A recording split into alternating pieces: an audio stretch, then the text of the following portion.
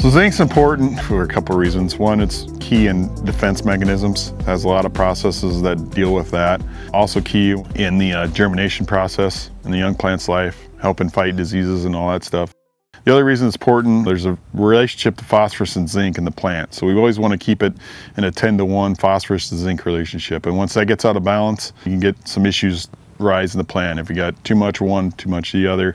You know, on Kelly's farm here, He's got high phosphorus because of our his nutrient management practices. So we're always adding zinc here to keep that balance in, intact, I guess would be the best way to put it.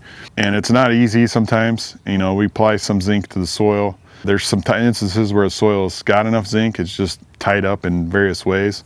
It's not getting the plant, so we still have to, to either put it with a planter or spray it on. So we're always adding it, and it's vital in those key time frames, you know, keeping that defense mechanism structure going in the plant.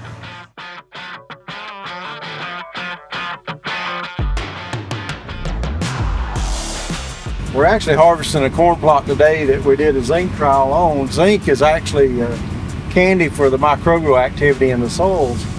And the more microbial activity you have, the more root mass you get. Uh, it's just a better living environment for your roots and their plants thrive.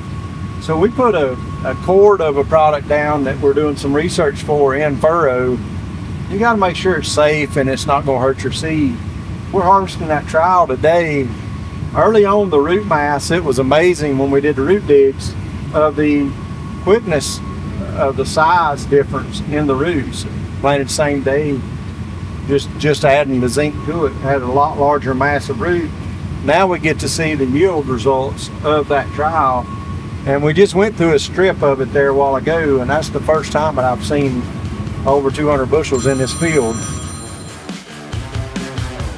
I played college football, and it was vitamin C and zinc, you know, because the head coach's wife was a nurse.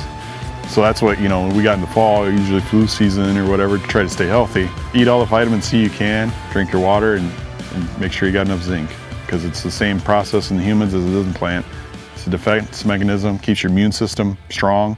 So it, it relates right back to the plants. And, you know, they need zinc to be have a strong immune system and have strong defense against diseases, pests, all the things they battle during the growing season.